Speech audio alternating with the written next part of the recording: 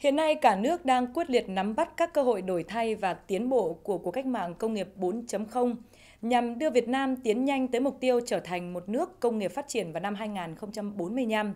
Không nằm ngoài xu thế đó, ngành điện cũng có bước chuyển mình để đáp ứng nhu cầu của người tiêu dùng. Hiện nay, cách mạng công nghiệp 4.0 đã đi vào sản xuất kinh doanh của ngành điện với các trạm 110 kV điều khiển xa không người trực, các thiết bị đóng cắt trên lưới điện được điều khiển xa bằng công nghệ thông minh SCADA, công tác thu tiền điện được thanh toán trực tiếp qua ngân hàng không dùng tiền mặt, vân vân.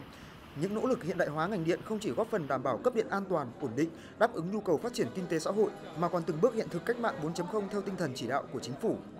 Chính vì vậy, hội thảo Việt Nam 2045 đổi mới để chuỗi dậy trong kỷ nguyên cách mạng công nghiệp 4.0, Hà Nam điểm đến của kiến tạo và phát triển với sức mạnh cộng hưởng do Ủy ban nhân dân tỉnh Hà Nam giao cho công ty điện lực Hà Nam phối hợp với công ty cổ phần tư vấn và đào tạo Sao Việt tổ chức đã nhận được sự quan tâm của lãnh đạo các bộ, ngành điện cũng như cộng đồng doanh nghiệp và doanh nhân toàn quốc.